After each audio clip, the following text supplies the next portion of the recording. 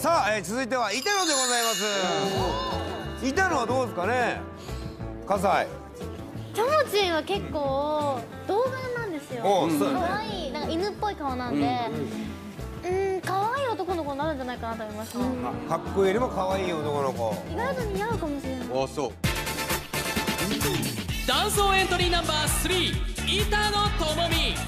ベビーフェイスの美少女はどんな男性に変身するのか？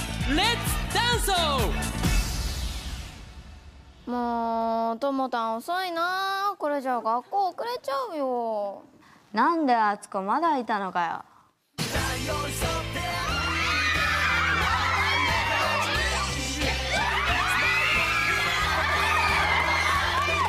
少年が大人へと変わろうとするさなぎの時。板野友美のダンソーはブレってんの？同じ学校なんだから一緒に行けばいいじゃん。もうガキじゃねえんだからさ。別々に行こうぜ。そんなこと言ってともたん毎日遅刻しちゃうでしょ？いくら幼馴染だからって。ともたんって呼ぶのやめてくんねえかあわかった。ななんだよ。好きな女の子ができたからそうやって急に突っ張ってるんでしょバカちげえよ。女なんて興味ねえよ。またまた強がっちゃって。幼馴染なんだからいつでも話聞くよ。危ねえよ。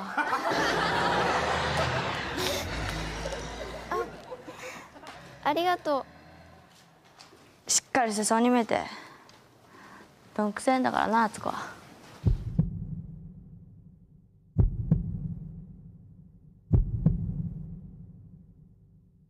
やっぱお前には俺が必要だな。